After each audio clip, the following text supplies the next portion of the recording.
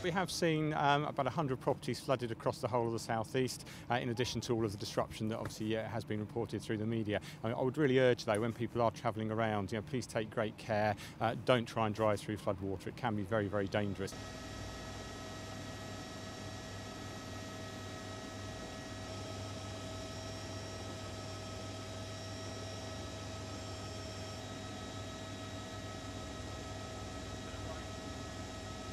Over the last 10 days, we had a month's worth of rain.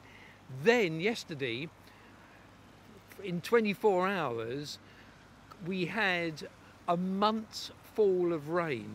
So we've had a month's fall of rain on top of a previous month's fall of rain in a week.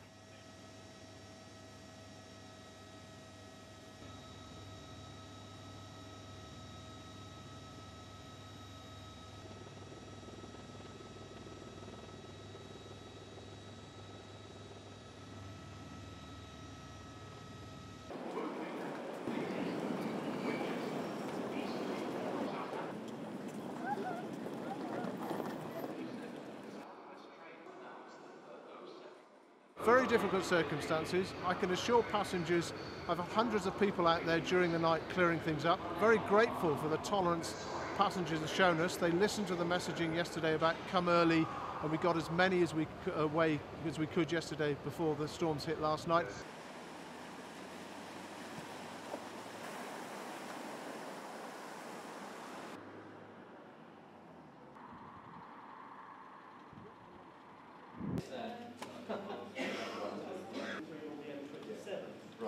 don't venture into water that you can't see through.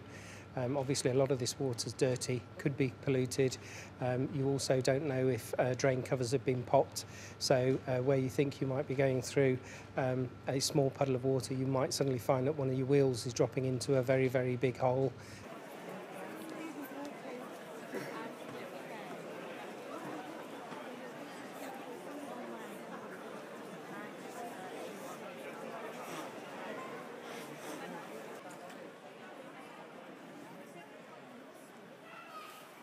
There's no flights, there's nowhere to go. Nobody's telling us anything.